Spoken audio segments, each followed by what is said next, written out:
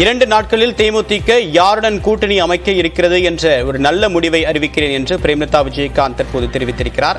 அவர் அளித்த பேட்டியை தற்போது பார்க்கலாம். விருப்ப மனுவை நாங்கள் தேசிய முற்போக்கு திராவிட கழகத்தின் சார்பாக தலைமை கழகத்தில் துவங்கி இருக்கிறோம். இன்றும் நாளையும் நல்லபடியாக அது முடிஞ்ச பிறகு உங்கள் அலை அனை அனைவரையுமே நாங்கள் அழைச்சி அதிகாரப்பூர்வமாக எங்களுடைய அறிவிப்பை நிச்சயமாக ஓரிரு நாளில் தெரிவிப்போம் என்பதை தெரிவித்துக் கொள்கிறேன். நன்றி வணக்கம். ரெண்டு நாள் இவ்வளோ நாள் வெயிட் பண்ணிட்டீங்க. இன்னும் ஜஸ்ட் டூ டேஸ் வெயிட் பண்ணுங்க. கம்ப்ளீட்டாக எல்லாமே உங்களுக்கு அதிகாரப்பூர்வமாக நாங்கள் அழைக்கல எல்லாருமே அழைச்சி சொல்லி பரவாயில்ல.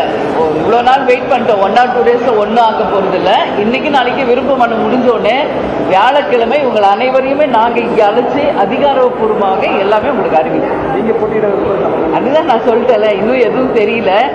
எல்லாமே உங்களுக்கு நாங்கள் சொல்கிறோம் எந்த தொகுதி எத்தனை சீட்டு யார் வேட்பாளர் எல்லாமே உங்களுக்கு சொல்லிடுறோம் சரிங்களா? கூடுதல் தகவலுடைய நிகழ்ச்சி செய்தியாளர் வேல்முருகன். வேல்முருகன் விவரம் என்ன?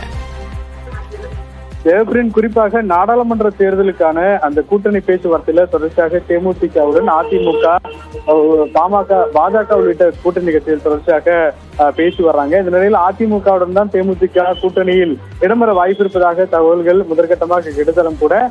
இது குறித்தான அறிவிப்பை வருகின்ற விழா- வியாழக்கிழமை அதாவது இரண்டு நாட்கள்ல அதிகாரப்பூர்வமாக இங்கே தெரிவிப்போம் என்று தற்போது தெரிவிக்கப்பட்டிருக்கிறது.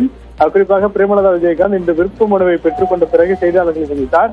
அப்பொழுது தேமுதிக எந்த கூட்டணியில் இடம்பெறப் போகிறது என்ற கேள்வியை முன்வைத்த பொழுது வருகின்ற வேளாக்கிழமைக்குள்ளாக அஹ், அதிகாரப்பூர்வமாக ஒரு நல்ல முடிவை கூட்டணி குறித்தான யாருடன் கூட்டணி என்பதும் அதே போல யார் வேட்பாளர் என்பது குறித்தும் அதிகாரப்பூர்வமாக அறிவிக்க இருப்பதாக தெரிவித்திருக்கிறார்கள். குறிப்பாக தேமுதிகவை பொறுத்தளவிற்கு தொடர்ச்சியாக அதிமுகவுடன் மூன்று கட்ட பேச்சுவார்த்தைகளை அதிகாரப்பூர்வமாக அஹ், நடத்தி முடித்திருக்கிறார்கள். அந்த வகையில் அதிமுகவுடனான அந்த கூட்டணி அப்படிங்கிறது வாய்ப்பு அதிகமாக இருப்பதாக சொல்லப்படுகிறது. இருந்தாலும்